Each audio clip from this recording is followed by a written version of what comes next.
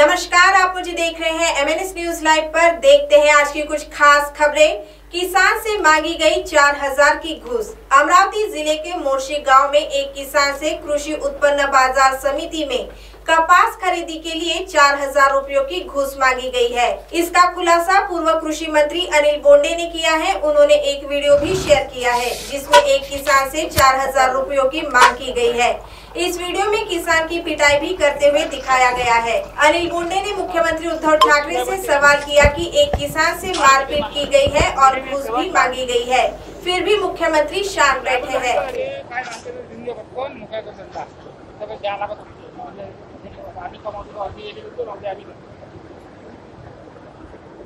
शेवटला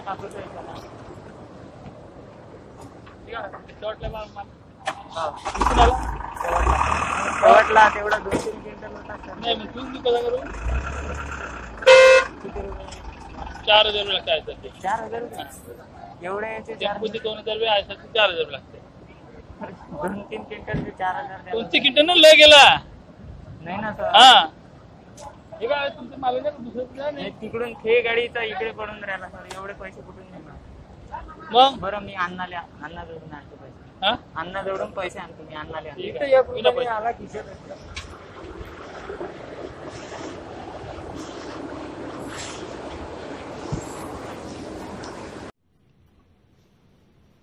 मोर्शी तालुक्यातील वर्ला या गावाचा ऋषिकेश शहाणे बाबाराव शहाणे या शेतकऱ्यांनी वीस तारखेला मोर्शीवरून कापूस जलाल खेड्याला नेला.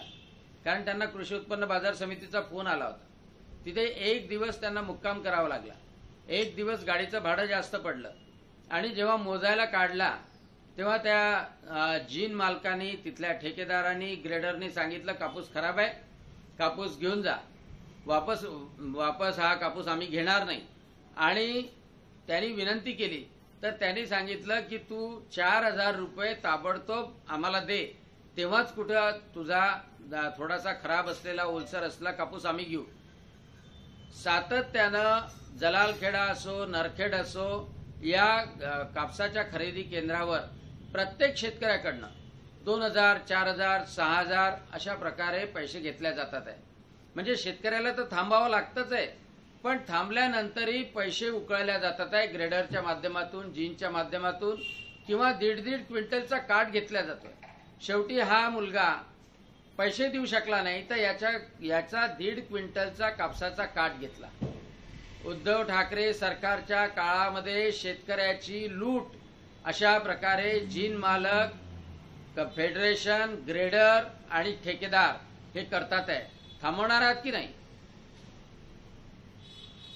तो वहीं दूसरी ओर पूर्व मुख्यमंत्री देवेंद्र फडणवीस ने कल मुंबई में पत्रकारों से बातचीत के दौरान कहा कि जीएसटी के संदर्भ में राज्य सरकार के मंत्री केंद्र सरकार पर आरोप प्रत्यारोप करने में व्यस्त है।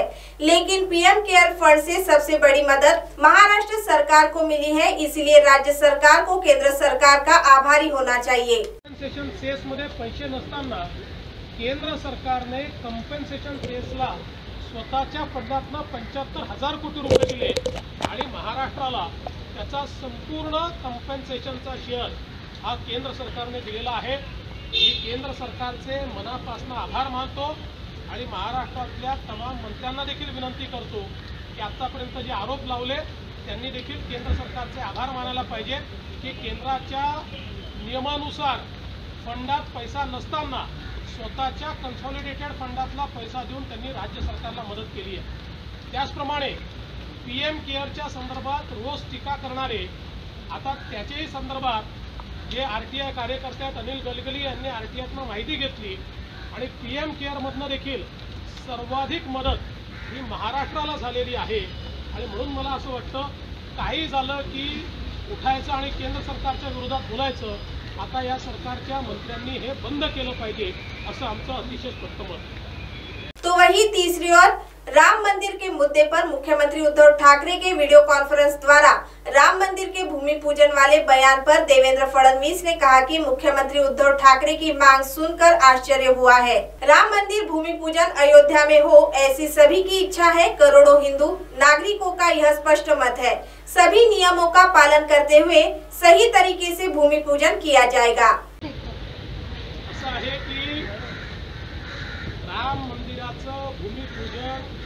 हे पूर्ण योग्य प्रकारे त्याच ठिकाणी झालं पाहिजे. ही करोडो करोडो हिंदूंची आस्था आहे. तीच सगळ्यांची भूमिका आहे. केंद्र सरकारने आणि विशेषतः ट्रस्टनं हे अतिशय स्पष्ट केलेलं आहे. सर्व प्रकारचं फिजिकल डिस्टन्सिंग ठेवून कोरोनाच्या संदर्भातले सगळे काही नियम आहेत ते पाळून हे भूमिपूजन केलं जाणार आहे. किंवा दोनच लोकांनी मागणी केलेली आहे. एक इम्तियाज जलील यांनी एम आय तर्फे मागणी केली आहे आणि परवाच्या आपल्या इंटरव्ह्यूमध्ये मुख्यमंत्र्यांनी या ठिकाणी असं बोलले आहे. पण या दोघांचं जरी हे मत असलं की ई भूमिपूजन करावं किंवा व्हिडिओ कॉन्फरन्सिंगवर भूमिपूजन करावं तरी करोडो करोडो हिंदूंचं स्पष्ट मत आहे की पंतप्रधानांनी जागेवर जाऊन भूमिपूजन केलं पाहिजे. सगळे नियम पाळले जातील. गर्दी कुठेही होणार नाही आणि योग्य प्रकारे भूमिपूजन होईल. जर हिंदी हमारे चैनल को ऐप पर भी देख सकते हैं। प्ले स्टोर में जाकर एम एन एस हिंदी लिखे और ऐप डाउनलोड करें। साथ ही साथ आप हमारे फेसबुक पेज को भी लाइक कर सकते हैं और उन पर भी खबरें देख सकते हैं। लिंक ट्विटर हाइक और इंस्टाग्राम पर भी आप हमारी खबरें देख सकते हैं। आप हमारे चैनल को यूट्यूब पर भी देख सकते हैं और इसे यूट्यूब पर सब्सक्राइब करना बिल्कुल भी ना भूलें। फ़िलहाल वक्त हो चला एक ब्रेक का। ब्रेक से लौटने के बाद देश और दुनिया की तमाम बड़ी खबरें देखने के लिए बने रहे एम न्यूज़ लाइव के साथ। नमस्कार।